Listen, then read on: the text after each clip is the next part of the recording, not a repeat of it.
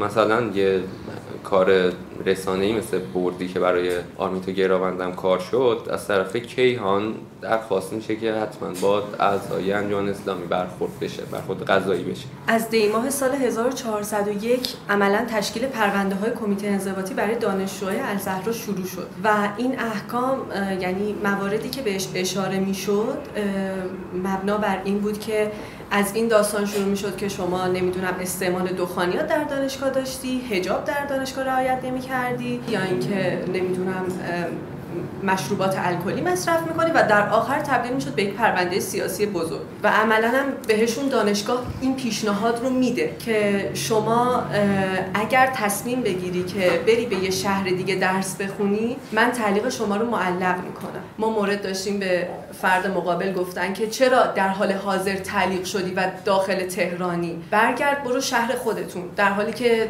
فردی که تعلیق شده دیگه با دانشگاه کاری نداره بیرون از دانشگاه داره فعالیت انجام میده. و باهاش تماس می‌گیرن که پاشو از تهران برو بیرون. شما حق نداری الان تو تهران باشی. حراستی که باید امنیت و آرامش دانشجو رو در ابتدای امر ایجاد بکنه الان فضای دانشگاه که یک فضای پویا و دانشجویی باید باشه به یک فضای ایستا و امنیتی تبدیل کرده. جدای از اون تعداد دوربین هایی که در دانشگاه کار گذاشته شده دو برابره حالا جلوی درب دانشکده ها و درب اصلی برای حفاظت و امنیت می‌تونیم بگیم که برای حفاظت و امنیت دانشجو. اما بقیه نقاط فکر می‌کنم اونقدر لزومی نداره و اینها بیشتر برای کنترل دانشجو. چیزی که گزارش ها نشون داده اینه که عکس هایی که نشون میدن به دانشجوها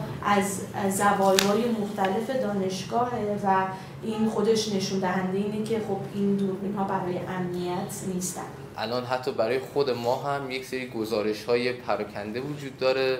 از دوستانمون شنیدیم داخل جاهای مختلف خود دانشجوها روایت کردن ولی یک چیز پیوسته وجود نداره. مثلا از آمار تعلیقی ها بعد از ریاست جدید دانشگاه امیر کبیر آقای رهایی هیچ آمار انگار قبلش هم وجود نداشت ولی جدیدا اینقدر تعداد تعلیق ها بالا شده تعداد احضار به کمیته انضباطی اینقدر بالا رفته نسبت به دوره قبل.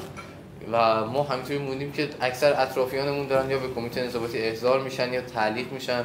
بخوایم یک برآوردی داشته باشیم از آمار تعلیق ها. خب یه آمار فاجعه باری میشه مثل همون آماری که داخل راجب مهر و آبان و آذر در که 500 نفر تعلیقی بودن. داخل دانشگاه همین کردیم 500 نفر پرونده کمیته انضباطی ببخشید بشه به طور کلی رفتار کارمندان کمیته انضباطی با دانشجوها مثل مجرمان. حتی تو جلسه تقدیم اتهامی که من خودم داشتم به جای لفظ تخلف از لفظ جرم استفاده می‌کردم. از مهر 1401 تا مهر 1402 دست کم 96 دانشجو به کمیته انضباطی و حراست فراخونده شدن. که از این جلسات البته به عنوان جلسات گفتگو یاد شده در صورتی که توش از دانشجوها سوال پرسش شده ازشون تعهد اخذ شده و یا تفهیم اتهام شدن و به کمیته انضباطی رفتن. در طول ترم پاییز 1401 اتهامات بچه ها حول محور تجمع، شرکت در تجمعات غیرقانونی ایجاد آشوب و و به هم ریختن نظم دانشگاه بود. در ترم بهار 1402 هم 21 دانشجوی دختر به بهانه حجاب به کمیته انضباطی فراخونده شدن و یا به دفتر ریاست دانشکده یعنی در واقع استادشون مقابلشون میشست و ازشون سوال می‌کرد که برای چی حجابت رو رعایت نکردی.